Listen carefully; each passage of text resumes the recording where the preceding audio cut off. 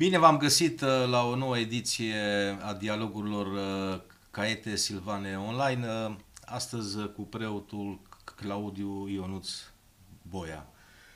Bine ați venit la emisiunea noastră. Bine v-am găsit, vă mulțumesc frumos pentru invitație, mă onorați și mă bucurați în același timp. Claudiu Ionuț Boia s-a născut la Zalău la 10 mai 1986, este căsătorit din 2010, are doi copii. A studiat uh, la școala gimnazială Mihai Eminescu din Zalău, apoi la seminarul teologic uh, tot din Zalău. A urmat facultatea de teologie din uh, Sibiu, are un masterat la aceeași facultate, iar în prezent este doctorant în teologie la facultatea din Cluj. Activitatea profesională a fost profesor uh, de discipline teologice la Liceul Ortodox Sfântul Nicolae din Zalău, apoi la Colegiul Național Silvania, iar din 2012 este preot ortodox, iar din 2015 este preot paroh uh, la parohia ortodoxă Fildu de Mijloc, Episcopia Sălajului. Are și o bogată activitate publicistică și jurnalistică, Colindele bunicilor, un înger pentru fiecare, coautor la editura Episcopiei Sălajului, Uh, apoi, în 2014, monografia Liceului Ortodox din Zalău, apărută la aceeași editura Episcopiei Sălajului, uh, o carte, un, uh, o carte de proză surprinzătoare despre care o să povestim cu siguranță la un moment dat, Plan de evadare, a apărut la editura Colorama din, din Cluj în, în 2021 și de asemenea a fost și realizator și moderator de emisiuni la un post local de televiziune, care din păcate astăzi nu mai este da. Regio TV Transilvania. Este, da. Aveți și un, un blog personal, boiaclaudiu.com, servite cu boia. Uh, și ați publicat de asemenea articole de specialitate teologice în anuarul Episcopiei Sălajului, în revista Tabor și în analele Universității Alexandru Ioan Cuza din Iași. V-am invitat uh, la această emisiune pentru că suntem aproape de marea sărbătoare a a creștinătății uh, și pentru că aveți uh, și această activitate literară, culturală, care într-un fel este surprinzătoare, dar uh, nu neapărat pentru că ne știm de mai multă vreme și cu siguranță aveți de spus multe lucruri și în acest sens. Haideți să începem cu această mare sărbătoare, da. care este umbrită, sigur, de, de, de, de apăsările războiul în primul rând și nu numai ale războiului. Suntem apăsați tot mai mult de inflație, de scumpiri, de scumpete, de ură, da. de violență, din păcate, nu numai uh, de limbaj. Uh, ce ar mai fi nou de spus uh, la marele praznic al Învierii Domnului? Da, a spus că e mare sărbătoare a creștinătății. Într-adevăr, este cea mai mare sărbătoare a creștinătății, pentru că esența creștinismului Învierea Mântuitorului și într-adevăr este umbrită astăzi și de război și de toate celelalte angoase sociale și probleme sociale, uh, după ce timp de 2 ani de zile a fost umbrită de uh, pandemie. Nu uităm, eu personal nu uit, pe mine ca preot m-a marcat cel an 2020 în care uh, am slujit Sfânta Liturghie și toate celelalte slujbe specifice sărbătorii învierii singur în biserică, pentru că au fost restricțiile, și inclusiv noaptea învierii și acel îndemn, veniți de luați lumină, la care în mod normal răspundeau mulți credincioși, pentru că în sărbătoarea învierii, noaptea învierii, este momentul în care și cei care nu obișnuiesc să meargă la biserică peste ani își găsesc timp și vin, a fost, uh, uh, n-au fost acolo. Și iată că după ce am scăpat de pandemie și am crezut că lucrurile vor intra în normal, au venit aceste alte probleme războiul și toate celelalte probleme sociale, dar totuși sărbătoarea aceasta învierii de o speranță. Și asta e nou. Pentru că de fiecare dată în și prin sărbătoarea învierii se înnoiește. Se înnoiește uh, promisiunea și legământul pe care Dumnezeu l-a făcut omului și anume acela că nu-l va lăsa să moară pentru că îl va învia, așa cum el a înviat. Uh, Mântuitorul se face începătorul învierii noastre în Sfânta Liturghie, în fiecare duminică, în cadrul rugăciunii centrale, se amintește de acest lucru, că Mântuitorul a murit și a înviat pentru noi ca să facă începătorul învierii noastre, dându-ne astfel speranța că după viața aceasta, fie ea cum, ea cum este, plină de greutăți, chiar de războaie, de pandemii, se vede o speranță, o lumină.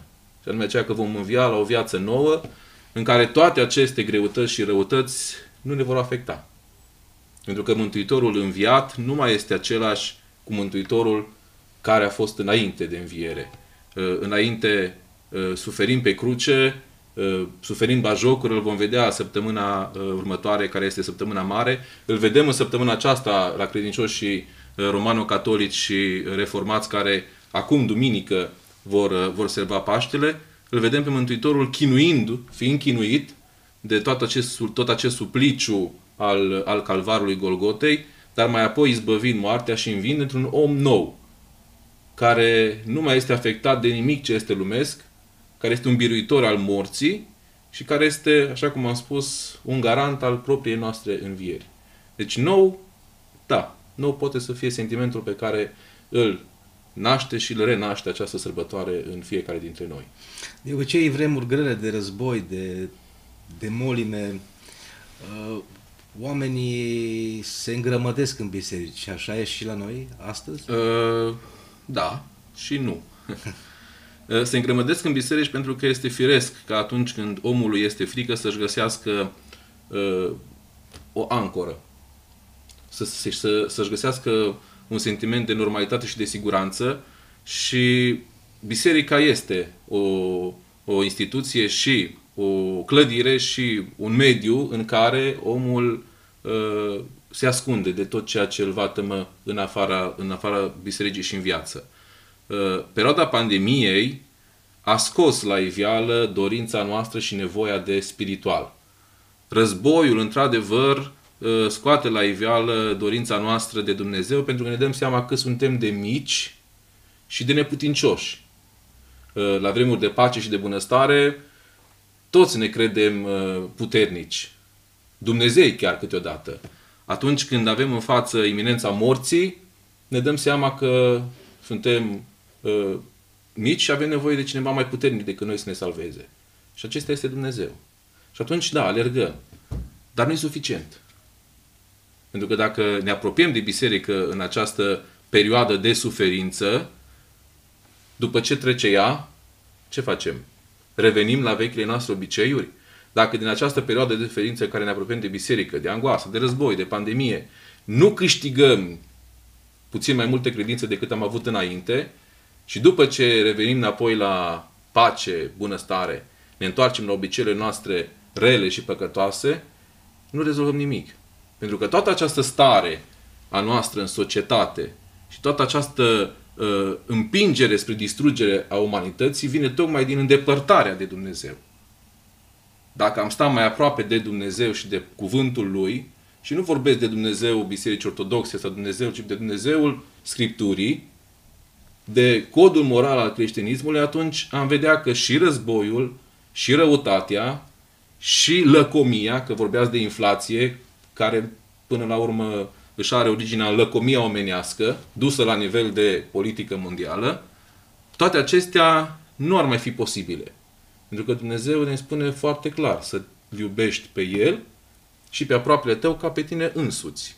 Ori dacă aceste două legi simple și complicate și grele în același timp de împlinit uh, le punem în aplicare, atunci n-am mai găsit puterea necesară să-l împușcăm pe fratele nostru, să-l furăm pe fratele nostru, să îl asuprim pe fratele nostru de lângă noi. L-am iubit. Și atunci totul ar fi rost și frumos. Cum se raportează biserica la război în general, nu neapărat la război din uh, Ucraina? Păi, e clar cum se raportează biserica. Nu are cum uh, biserica să garanteze sau să gireze pentru un război în care uh, oamenii uh, se, se omoară.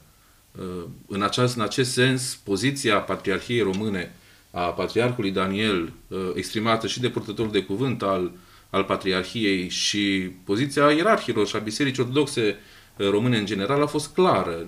Nu există nicio justificare pentru crimă. Nu poți să justifici omorârea sau atacarea sau asuprirea uh, unor oameni din punct de vedere uh, religios. În istoria bisericii condamnăm ferm cruciadele, ca niște scăpări. Condamnăm ferm războaiele sfinte ale musulmanilor, jihadul. Noi îl condamnăm, spunem că nu-i, nu-i corect. Nu putem gira atunci un război, fie el purtat de un popor ortodox împotriva altui popor ortodox, cu nici un fel de argument. Clar împotriva războiului, pentru că războiul înseamnă asuprire, crimă și neiubire. Ori mesajul Mântuitorului este unul foarte clar și simplu. Să le iubim pe El, pe semeni și pe noi înșine. Iubirea înseamnă respect, iubirea înseamnă prețuire și, în primul rând, iubirea înseamnă păstrarea vieții cât mai curate și conservarea ei și promovarea ei și în, în, în domeniul personal al meu și și în domeniul, uh, în, în uh, latura și în domeniul semenului meu. Cu orice preț. Deci nu avem cum să, să justificăm războiul. Clar împotriva războiului. Cum va fi oare Paștele în Ucraina? Nu știu. Nu știu. Cred că bunicii noștri care au trăit uh, uh, perioada războaielor mondiale ne-ar putea spune, dacă mai sunt în viață, uh, e clar că bucuria aceea a învierii și a cântării Hristos a înviat nu va fi o bucurie de plină pentru uh, creștinii din Ucraina, care sunt afectați, dar eu îmi pun o întrebare. Cum va fi uh, învierea pentru creștinii din Rusia, care uh, promovează și girează războiul, care justifică acest lucru. Adică cât de sincer va fi acel Hristos a înviat și adevărat a înviat care, care îndeamnă la, la pace și unire. Uh, există o cântare care este specifică pe lângă troparul Hristos a înviat, slujbei învierii, ziua învierii să ne luminăm popoare, să zicem fraților și unii pe alții să ne îmbrățișăm. Cum putem? Se cântă în toată ortodoxia.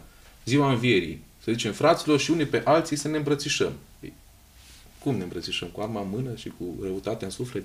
Acest lucru este valabil și la noi, și în biserica noastră, și în parohiile mici, și în comunitățile mici. Ne întrebăm așa, cum putem să sărbătorim învierea Domnului cu adevărat când nu am găsit puterea să-l iert pe fratele meu cu care m-am certat poate nici nu știu din ce motiv.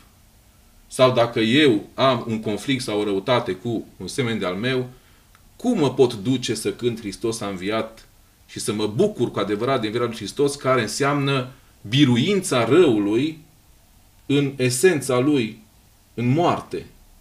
Când eu nu pot să birui un rău mic din sufletul meu, pentru că fratele mi-a călcat o brază de pământ mai mult sau m-a supărat cu temit ce lucru neesențial. Un prilej de potignire, să spunem așa, că acest război, într-un fel, e și între ortodoxi. Păi asta e o problemă. În primul rând e o problemă că e între oameni. Bun, evident. Și în al doilea rând e o problemă că e între creștini. Uh, n-ar fi mai justificat nici dacă ar fi între creștini și musulmani. Sau între creștini și budiști, sau între musulmani și budiști. Războiul, în esență, nu și are justificare decât în uh, păcatele și patimile și dorințele diabolice a omului de a stăpâni pe alt om. Era cea maximă, că în comunism uh, înseamnă stăpânirea omului de către om și în democrație invers. Cam așa e și război.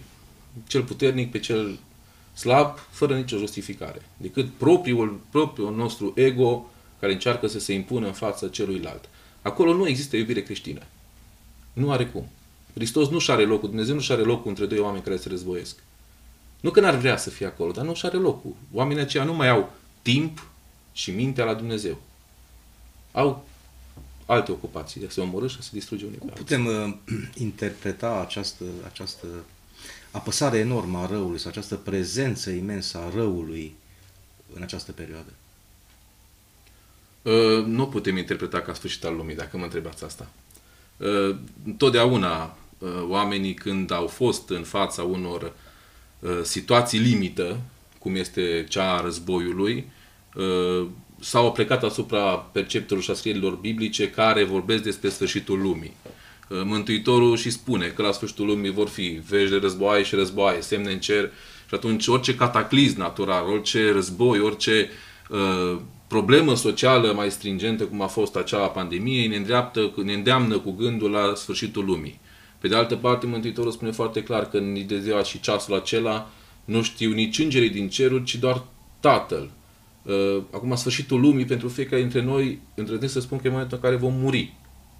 Adică pe mine ca persoană, dacă mâine mă găsește moartea, uh, nu știu cât de mult contează să mă stresez de sfârșitul lumii care va veni peste 5 ani. Adică prioritățile noastre trebuie să fie cele de astăzi. Astăzi să fiu eu mai bun, astăzi să încerc să-mi câștig sufletul, să-mi răscumpăr greșelile, astăzi să încerc să mă apropie mai mult de Dumnezeu, uh, iar gândindu-mă doar la sfârșitul lumii și trăind așa cu frica aceasta, cu angoasa aceasta a, a unui final iminent, neștiut, nu mă face, alt, nu face altceva decât să-mi răpească timpul pe care eu l-aș putea folosi pentru a fi astăzi și acum mai bun. Uh, așa că celor care își fac griji că vine sfârșitul lumii, mai mult aș spune să-și facă griji că cum îi va găsi sfârșitul lumii când vine. De pregătirea pentru sfârșitul lumii. Fie el să vină peste 1000 de ani sau peste 5 ani. Ori uh, scria domnul Bucuroiu, că vorbeam înainte de, de dânsul, într-o postare, cel care editează o revistă religioasă de multă vreme, că el nu crede că Dumnezeu poate îngădui ca sfârșitul lumii să uh, stea într-un buton a unui lider politic. Pentru că nici uh, președinții uh, SUA și altor puteri nucleare nu au participat cu nimic la crearea lumii. Și atunci nu cred că Dumnezeu le va îngădui ca ei să fie cei care apasă butonul final de, de sfârșit al lumii. E un plan al lui Dumnezeu și Dumnezeu are, are grijă ca toate să se întâmple uh, în așa măsură încât să salveze cât mai mulți oameni, să ne salveze cât mai mulți dintre noi, pentru că Dumnezeu nu vrea moartea păcătosului, ci fiecare, ci pe fiecare ne vrea fericit și mântuit. Și atât de mult se, uh, ne iubește Dumnezeu încât îngăduie toată această lupta noastră în speranța că la un moment dat ne vom trezi și vom fi mai buni și vom încerca să ne apropiem mai mult de El și El așteaptă răbdător și în fiecare an suferă, moare pe cruce și învie ca noi să ne trezim cu fiecare înviere și să încercăm ca anul ăsta să fie un pic mai bun decât anul trecut și anul viitor să mă găsească învierea Domnului și toată această perioadă puțin mai bun decât a fost în anul acesta. Și nădăjduim că și războiul se va încheia la un moment dat, că răul nu poate dura veșnic. Au mai fost războaie crunte și s-au încheiat. Dialogurile Caete Silvane online astăzi cu preotul Claudiu Ionuț Boia. Am observat că Biserica Ortodoxă s-a implicat uh, destul de apăsat în sprijinirea nu numai a refugiaților din Ucraina. Da, uh, mobilizarea societății în general a fost una exemplară și bineînțeles că biserica nu a putut să lipsească. Uh, nu doar Biserica Ortodoxă s-a implicat, ci toate comunitățile creștine s-au implicat Uh, și n-a făcut discrepanță nici Biserica Ortodoxă pentru că suntem în slujba oamenilor, biserica este în slujba oamenilor și trebuie să fie acolo unde oamenii au nevoie de biserică, la fel cum oamenii sunt alături de biserică. La urmă, biserica uh, ca instituție nu există fără credincioșii ei. Biserica nu înseamnă ziduri doar și proprietăți și activități de acestea uh, liturgice. Biserica înseamnă fiecare suflet care are nevoie de Dumnezeu și lucrează pentru Dumnezeu. Uh, Sfântul Apostol Pavel spune foarte clar că noi toți suntem mădulare ale unui trup, capul este Hristos. Adică noi toți cei care facem parte din biserică suntem uh, fiecare în slujba Mântuitorului și a urma îndemnurile Mântuitorului. Uh, și aceea este absolut normal și a fost absolut firesc, o chestie de normalitate, să sărim în ajutorul celor aflați în nevoi, la fel cum cu siguranță și ei ar fi sărit în ajutorul nostru dacă am fi fost în acea situație. Și aici nu sunt de acord cu cei care promovează într-un mod uh, răutăcios, să nu folosesc un alt cuvânt, ideea că nu trebuie să ajutăm pe ucrainieni că ne-au furat ce mic, ce teritoriu. Când din punct de vedere istoric știm foarte bine că Ucraina n-a furat nimic. Ci totul RSS-ul și Rusia a furat, dacă e să vorbim de acele teritorii. Deci nu există niciun fel de justificare și raționament corect care să Uh, ne oprească în a ajuta pe cei care au nevoie și în speță acești refugiați care sunt, iată, nevoiți într-un mod barbar să-și părăsească uh, satul natal, localitatea, locuința și să plece spre necunoscut. De multe ori, chiar dacă au bani și uh, o duc bine în țara lor, a pleca în necunoscut, pe nepusă masă, fără niciun fel de pregătire prealabilă, este o provocare și o greutate. Și noi, care încă stăm și dormim în patul nostru și în casa noastră, fie ea cum o fi, uh, trebuie să înțelegem că uh, trebuie să sărim în ajutorul lor. Adevărată dramă și destul de, destul de amplă. Peste 4 milioane de refugiați din Ucraina. Și numărul crește. Numărul crește. Deci, dacă ar fi, să spunem, că s-a oprit, se oprește astăzi, totuși rămân peste 4 milioane de familii care, care au pierdut două luni din viață. Plus următoarele luni pe care le vor folosi, sau ani pe care îi vor folosi să-și reconstruiască, să revină la starea dinainte. Să nu vorbim de cei care, atunci când se vor întoarce, vor fi mai puțini, cu un membru, cu doi, cu trei, fără mame, fără copii, fără părinți. Uh, vor fi îndoliați. Numai cine a pierdut un membru al familiei într-un mod tragic poate să înțeleagă uh, cu adevărat durerea unei familii care, căreia este răpit un membru pentru ce? Pentru ambițiile oamenilor de a stăpâni un pământ? Să încheiem acest uh, subiect, de altfel extrem de important al, uh, al învierii Domnului, cu un rezumat sau cu ceea ce credeți că ar merita să subliniați astăzi. Învierea Mântuitorului este, așa cum am spus, esența uh, învățăturii creștine. Momentul în care Mântuitorul uh, ne arată că Dumnezeu poate să biruiască totul și că cei care îi urmează lui Hristos ajung să fie și ei martori și înfăptuitori ai învierii, uh, momentul în care, din punct de vedere uh, al mântuirii sufletului, fiecare om este chemat să devină mai bun, să se curățească, să își facă, dacă putem spune așa, un rezumat al vieții, al anului care a trecut și să-și propună ca odată cu învierea lui Hristos să-și reînnoiască și propriu, propria viață, propriul suflet și propria minte. Și bineînțeles să, să înțelegem că ă, dacă Hristos a stabilit moartea pentru noi, să-i mulțumim măcar pentru aceasta. Dacă nu putem să facem mai mult. Cred că atâta îi se cuvine lui Hristos, să-i mulțumim pentru că a murit în locul nostru și că ne-a oferit acest dar al învierii. O altă latură activității dumneavoastră, cea publicistică și scriitoricească. Ați uh, editat, uh, ați tipărit o carte la Cluj, la Colorama, Plan de evadare. De unde e această, această preocupare? Uh, da. În mod serios am luat-o în perioada aceasta a pandemiei, scriitura. Uh, m-ați numit scriitor și mă flatați, v-am spus și înainte că un coleg de, de brează mi-a spus că o carte, o singură carte publicată poate fi un accident, de la a doua, a treia încolo uh, poți să fii numit scriitor și cred că cititorii, adică oamenii în general vor spune dacă un om care scrie este și scriitor. Dumneavoastră aveți experiența scrisului și știți ce înseamnă uh, să fii scriitor. Într-adevăr, acest, uh, această carte a apărut uh, după perioada aceasta a pandemiei, 2020-2021,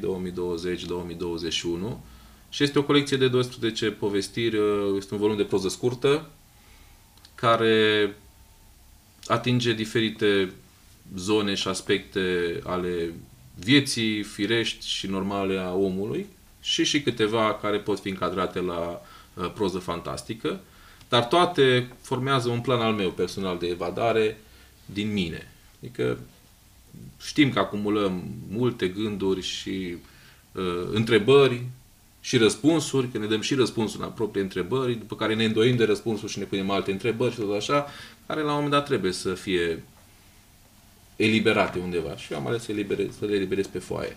Mă, dacă am făcut-o bine sau nu, cititorii o vor, o vor spune. Atunci când scrieți, mai sunteți preot? Uh, da. Da.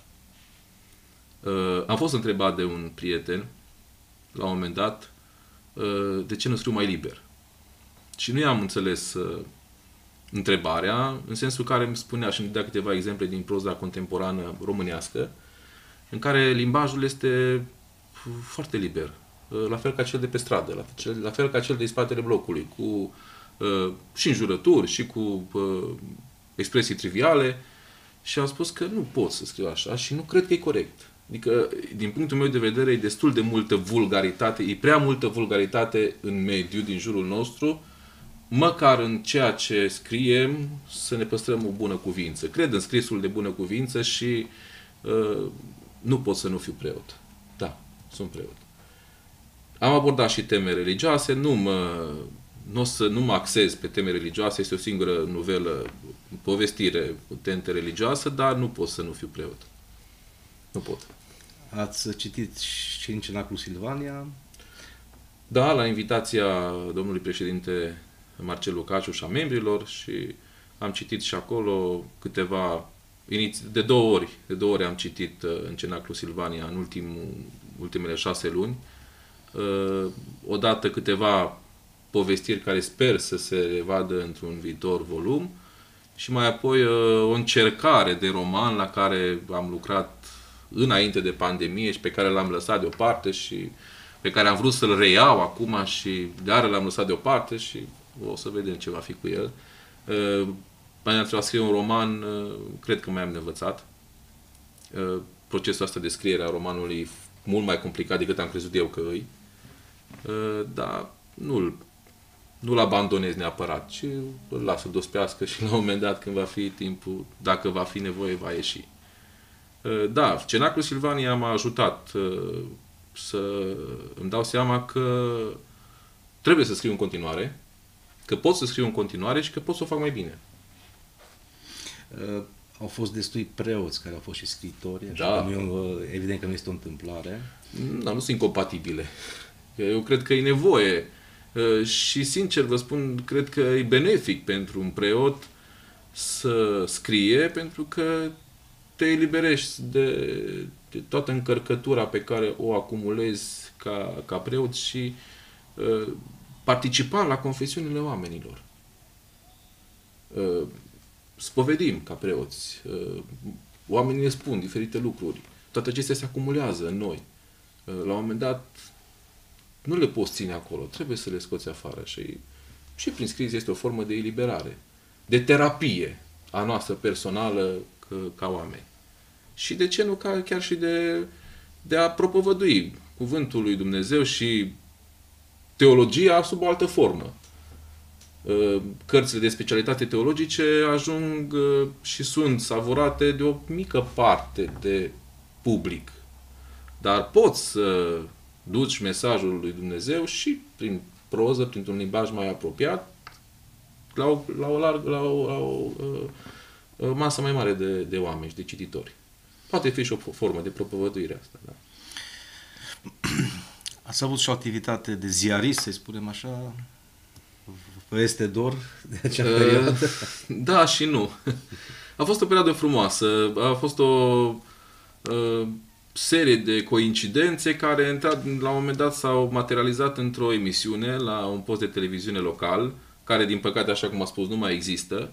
A fost un proiect frumos, Uh, eu n-am fost parte din acest proiect de la început, am venit pe parcurs printr-o colaborare cu Episcopia Sălajului.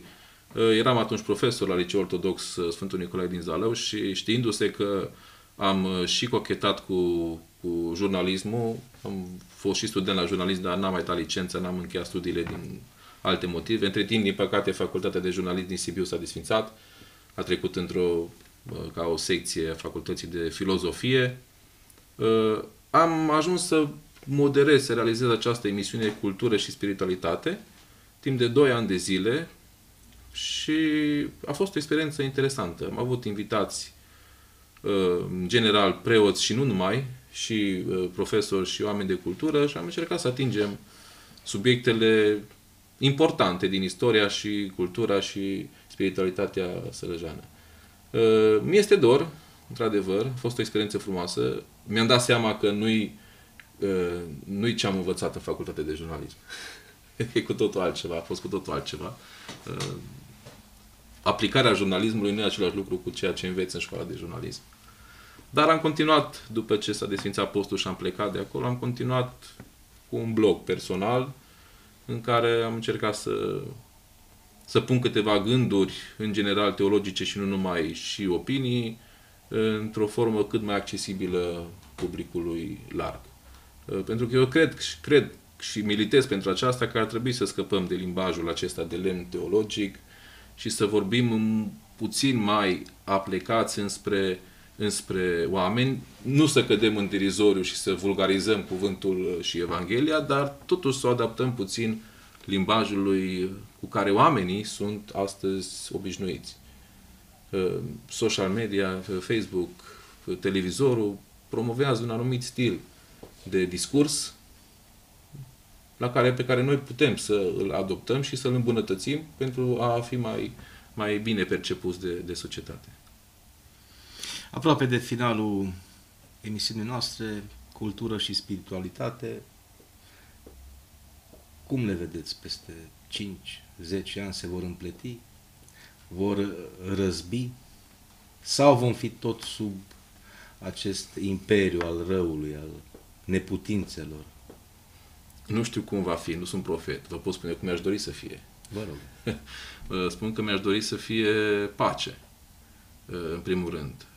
Să fie o înțelepciune a noastră, a oamenilor în general, de a înțelege că viața este fără preț și neprețuită și uh, trebuie păstrată cu, cu sfințenie.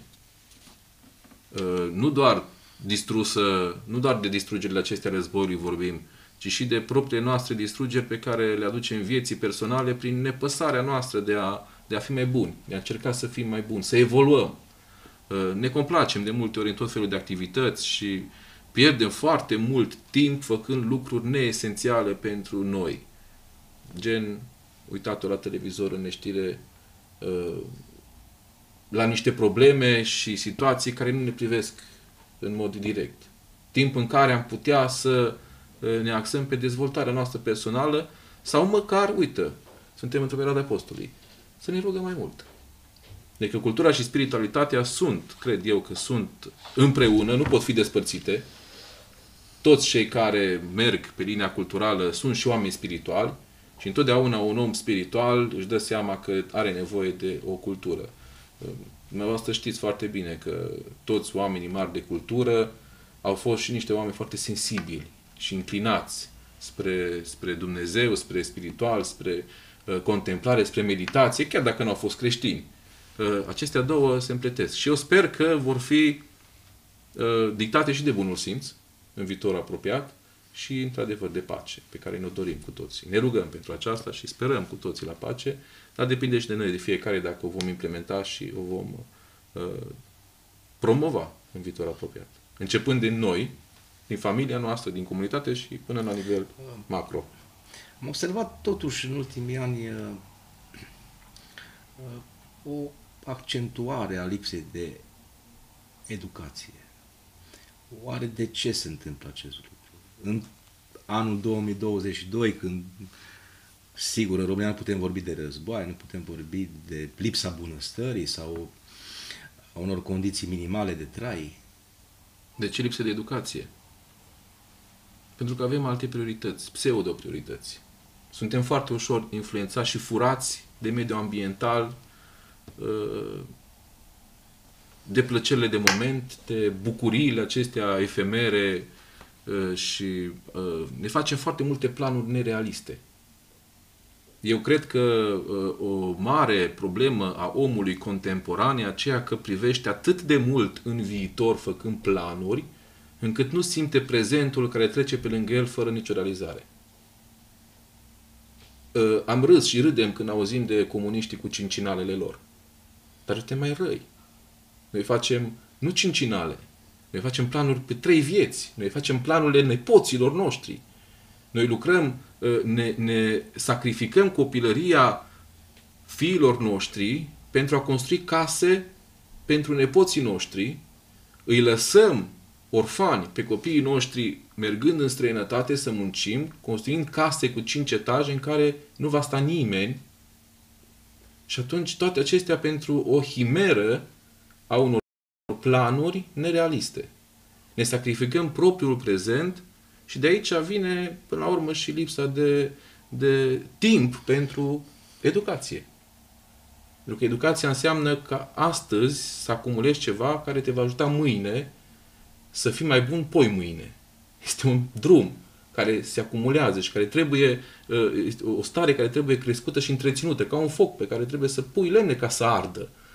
Poți să pui astăzi, umpli o centrală de lemne și te aștepți ca 5 zile să ardă. Trebuie să te aștepți că acel foc trebuie întreținut, la fel și educația. Cred că trebuie să fim puțin mai atenți la prezentul nostru de astăzi și planurile noastre să fie mai realiste și mai de scurtă durată și să înțelegem că educația nu e o pierdere de timp și de vreme. Deci, pierd vremea citind cărți, când aș putea să construiesc sau să repar mașina. Păi, dacă tu citești astăzi cartea aceea care zici că îți pierzi timpul și vrei să-ți, să-ți repar mașina, poate mâine îți vei repara mașina mai ușor dacă astăzi vei citi cartea aceea. Trebuie să avem mai multă atenție cu prioritățile din viața noastră, cred eu. Și atunci vom și deveni mai buni și mai atenți cu noi înșine. Um, mai vreau ceva, da, pe scurt, depopularea satelor, sunteți preot la... Da, e o problemă foarte mare. Ca să fac așa o, să vă fac o imagine plastică, uh, sunt preot de șapte ani de zile în uh, Fildul de Mijloc, o comunitate foarte frumoasă de credincioși, uh, unde mi-am găsit liniștea și, și bucuria aceasta a slujirii preoțești, și eu și familia mea. Din păcate, în cei șapte ani am înmormântat 54 de persoane. Botezi am avut 20 și un pic, ce sporul este negativ, dar din cei 148 de credincioși ai Bisericii Ortodoxe din Filul de Mijloc, uh, peste 60 de persoane sunt peste 70 de ani. Deci viitorul este unul sumbru, iar rata de repopulare, de revenire a celor care au plecat este aproape zero. Adică poate vin așa ca în vacanță, își refac casele părintești și vin în weekenduri, dar uh, satele vor pieri încet, încet dacă nu va fi o politică. Nu știu, nu, nu, nu știu care e soluția. Nu, nu sunt om politic, nu sunt expert în administrație și în mișcarea aceasta a maselor, dar trebuie făcut ceva pentru a nu lăsa niște comunități istorice care au unele vechimi de sute de ani să piară în uite, 50 de ani, 30 de ani. În 1990, uh, în registrul matricol al parohiei Filul de Mijloc, figurau 750 de persoane. 750. Și astăzi avem 148. În 30 de ani. Deci cred că este o, o, o scădere mult prea dramatică, o alunecare mult prea dramatică între, spre dispariție și trebuie făcut așa ceva, nu știu. Eu, după cum am calculat, suntem trei parohii ortodoxe în uh, comuna Fildul de Jos, fiecare acum avem biserică și parohia noastră, dar în următorii 15 ani nu cred că va fi nevoie de mai mult de un preot pentru toate trei comunitățile, pentru că efectiv nu vei mai avea la cine să slujești. Bisericile rămân goale și uh, comunele se, se golesc. Sperăm să nu fie așa. Nu știu care e soluția, o așteptăm să vină de undeva, de sus poate. o situație tragică și nu numai la film, bineînțeles. Da, e o ce e generală. În general. Am dat exemplu că era aproape da, de mine da. și pot uh, demonstra cu, cu numere, cu cifre. Dar aceeași situație peste tot.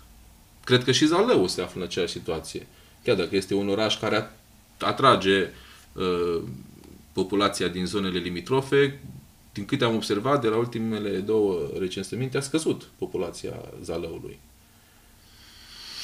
La final, dacă dumneavoastră mai credeți că trebuie să spuneți ceva sau să transmiteți un mesaj de final, vă rog.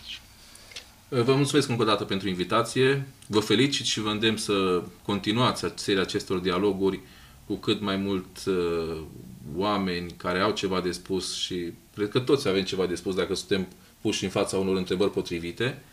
Uh, iar celor care ne urmăresc uh, le urez sărbători fericite, multă bucurie și uh, îi îndemn să se roage pentru pace. Și pentru pacea interioară, dar și pentru pacea, pacea întregii lumi, pentru că schimbarea începe cu fiecare dintre noi și noi toți la oaltă care ne dorim schimbarea putem să aducem, să aducem binele în față și să învingem răul sub orice formă ar veni el.